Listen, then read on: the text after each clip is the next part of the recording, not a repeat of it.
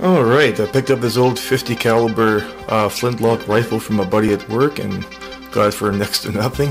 Um, took it home, it's pretty damaged. I knew it was damaged when he gave it to me. And, uh, it was very neglected, I guess. It wasn't cleaned properly ever. There's rust down the barrel, rust on the inside of uh, you know, the locking mechanism, some missing parts. There's no ramrod came with it, and some some pieces missing. And uh, I decided to make a little project out of it. I cleaned it up as best as I can. Um, like the trigger wouldn't work properly. It was like sticking, so I had to lube it up pretty good. And uh, well, what you see here is the little shots that I made. So I'm going to turn this thing into a, a flintlock shotgun, I guess. So I made these little cups.